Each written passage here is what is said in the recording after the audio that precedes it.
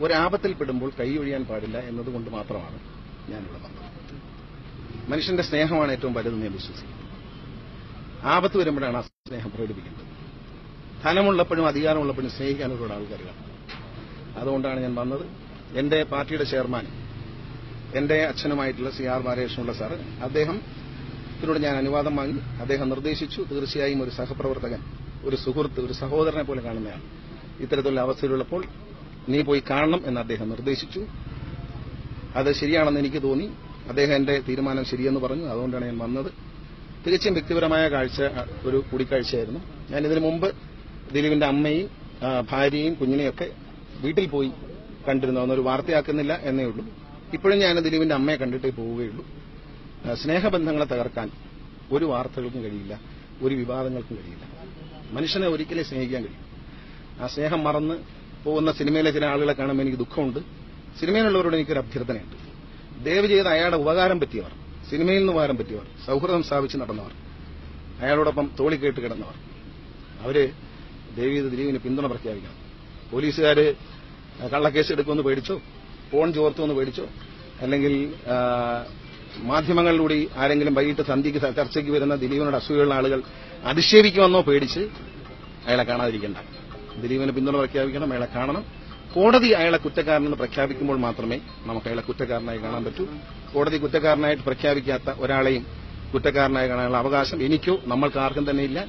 കോടതി അത്തരത്തിൽ തെളിവുകൾ പരിശോധിച്ച് തീരുമാനമെടുക്കുന്നവരെ അയാൾ കുറ്റക്കാരനല്ല. അത് നമ്മൾ മനസ്സിലാക്കണം. ഒരാളെ കുറ്റം ചാർത്താം. പക്ഷെ കുറ്റക്കാരനാണെന്ന് ബഹുമാനപ്പെട്ട കോടതി പറയാതെ ഞാൻ വിശ്വസിക്കില്ല നമ്മൾ ആരും വിശ്വസിക്കരുത്.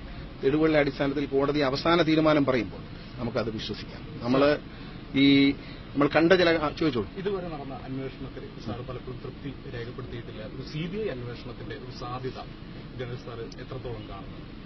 ഒരു സി ബി ഐ അന്വേഷണം നടത്തണമെന്ന് ആവശ്യപ്പെടേണ്ടത് ഞാനല്ല. ഇപ്പോഴത്തെ ഗവൺമെന്റിന്റെ ഭാഗത്തുനിന്ന് ഒരു മുഖ്യമന്ത്രി ഒരു തീരുമാനമെടുക്കണം അദ്ദേഹം അത് യുക്തമായ തീരുമാനം എടുക്കുന്ന വ്യക്തിയാണ്. കാരണം ഈ പോലീസുകാർ ചമയ്ക്കുന്ന കഥകൾ അതിന്റെ തിക്തഫലം തിക്തഫലം അനുഭവ അടുത്ത നാൾ വരെ അനുഭവിച്ചുകൊണ്ടിരുന്നൊരു വ്യക്തിയാണ് കേരളത്തിന്റെ മുഖ്യമന്ത്രി. കേരളത്തിന്റെ മുൻ മുഖ്യമന്ത്രിമാരും നമ്പി നാരായണും ശശികുമാറും ഫൌസിയയും മറിയം റഷീദയും വരെ കെ പോലീസ് തയ്യാറാക്കിയ കേസ് ഡയറികളുടെ പേരിൽ അനേക കാലം ദുരിതം അനുഭവിക്കേണ്ടി വന്നവരാണ്. ഇത് കേരളത്തിലെ ജനത മറക്കരുത്. നമ്മൾ ഈ യൂട്യൂബിലും ഫേസ്ബുക്കിലൊക്കെ ചില ആളുകൾ മോശമായി പ്രതികരിക്കുന്നവരുടെ പ്രതികരണത്തിന് കൂടെ നിൽക്കുകയല്ല വേണ്ടത്. നമ്മൾ സത്യത്തിന്റെയും നീതിയുടെയും കൂടെ നിൽക്കണം. എല്ലാവർക്കും എല്ലാവർക്കും നീതി കിട്ടണമെന്ന് ആഗ്രഹിക്കുന്ന ആളാണ് ഞാൻ. കേരളം ഭരിക്കുന്നത് എല്ലാവർക്കും നീതി കൊടുക്കാൻ ആഗ്രഹിക്കുന്ന ഒരു ഗവൺമെന്റാണ്. തീർച്ചയായിട്ടും തെറ്റായ നിലയിൽ അന്വേഷണം പോകുന്നുണ്ടെങ്കിൽ അത് ബഹുമാനപ്പെട്ട മുഖ്യമന്ത്രി തന്നെ തടയുമെന്ന് വിശ്വസിക്കുന്ന ഒരു അദ്ദേഹത്തിൽ എനിക്ക് വലിയ വിശ്വാസമുണ്ട്. അതൊരു വ്യക്തി എന്ന നിലയിൽ ഒരു ഭരണകർത്താവ് നിലയിലും അദ്ദേഹത്തിൽ എനിക്ക് വലിയ വിശ്വാസം മുഖ്യമന്ത്രിയിലുണ്ട്. അത് ഞാൻ മുമ്പും പറഞ്ഞിട്ടുണ്ട് ഇപ്പോഴും പറയുന്നത് എന്നും പറയും. അദ്ദേഹം കേസിൽ പെട്ടിരുന്നപ്പോഴും വളരെ തുറന്ന് ഞാനും എന്റെ പിതാവും എല്ലാ കാലവും പറഞ്ഞിട്ടുണ്ട്. ലാവലിൻ കേസിൽ അദ്ദേഹം കുറ്റക്കാരനല്ല എന്ന് ധൈര്യസമേതം പറഞ്ഞ ആളാണ് ഞാൻ. ഒരു കാര്യം ഞാൻ നിങ്ങളുടെ പറയാം. ഞാനിന്ന് പറയുന്നത് നിങ്ങൾ ശ്രദ്ധിക്കണം. രണ്ടായിരത്തി ഒന്നിലെ വീഡിയോ പകർപ്പുകളുണ്ടെങ്കിൽ എടുത്തു കാണണം. രണ്ടായിരത്തി ഒന്നിൽ കേരളത്തിന്റെ ട്രാൻസ്പോർട്ട് മന്ത്രിയായിരിക്കുന്ന കാലത്ത് ഗണേഷ് കുമാർ പറഞ്ഞൊരു കാര്യമുണ്ട്. കോയമ്പത്തൂരിലെ ജയിലിൽ അനാവശ്യമായി നീതി നിഷേധിച്ചുകൊണ്ട് ജയിലിലടച്ചിരിക്കുന്ന മദനിക്ക് നീതി ലഭിക്കണമെന്ന് കേരളത്തിൽ ആദ്യമായി ആവശ്യപ്പെട്ടവൻ കെ വി ഗണേഷ് കുമാറാണെന്നുള്ള കാര്യം നിങ്ങൾക്ക് ചരിത്രം പരിശോധിക്കാം. അതിനുശേഷമാണ് ബഹുമാനപ്പെട്ട എല്ലാവരും ആദരിക്കുന്ന നമ്മുടെ justice V R Krishnaiyer sir. അദ്ദേഹം അടക്കമുള്ള വലിയ വലിയ മഹാന്മാരായ മനുഷ്യർ മദിനിക്ക് പിന്തുണയുമായി വന്നത്. ഞാൻ അന്ന് എറണാകുളത്ത് വെച്ച് എറണാകുളത്തെ മാധ്യമപ്രവർത്തകരോട് ഞാൻ പറഞ്ഞൊരു വാക്കുണ്ട്. മദിനിക്ക് നീതി നിഷേധിക്കരുത്. വിചാരണ കൂടാതെ ജയിലിലടയ്ക്കാൻ പാടില്ല. ഇവിടെ സ്ത്രീകളെ നേരിട്ട് മാനഭംഗം ചെയ്ത വലിയ പണച്ചാക്കുകൾ തിരുവനന്തപുരത്ത് നിന്ന് മൂന്ന് രണ്ടാഴ്ചക്കുള്ളിൽ ജാമ്യം വാങ്ങിച്ചു കൊടുക്കും പിന്നെ എം എൽ എക്ക് എം എൽ എക്ക് ജാമ്യം.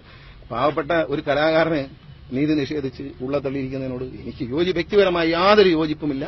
അദ്ദേഹത്തിന് കുറ്റം പറഞ്ഞുകൊണ്ട് ചാനൽ ചർച്ചകളിൽ പങ്കെടുക്കുന്ന ആളുകൾ അദ്ദേഹത്തോട് അസൂയുള്ളവർ മാത്രം.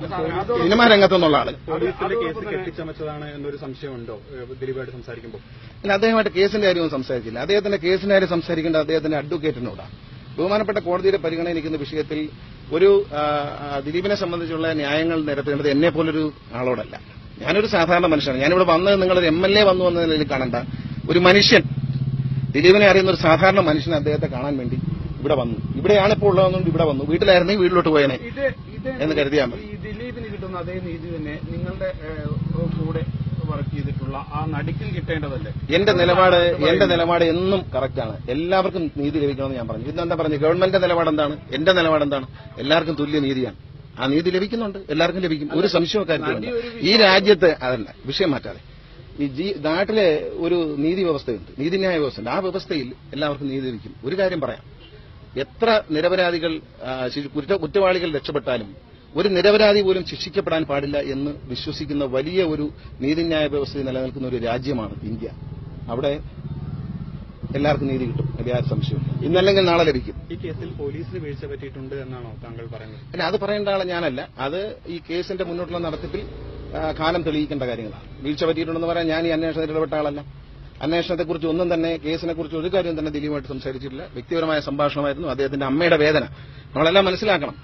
ഒരു മകൾ അച്ഛന് കൂടെയില്ലാത്തൊരു മകളുടെ ദുഃഖം ഭാര്യയുടെ ദുഃഖം അതിലുപരി പത്ത് എൺപത് വയസ്സായ കാത് നേരെ കേൾക്കാൻ വയ്യാത്ത കണ്ണു നേരെ കാണാൻ വയ്യാത്ത ഓർമ്മ ശരിക്ക് നിൽക്കാത്ത ഒരമ്മയുടെ സങ്കടം നമ്മൾ കാണും.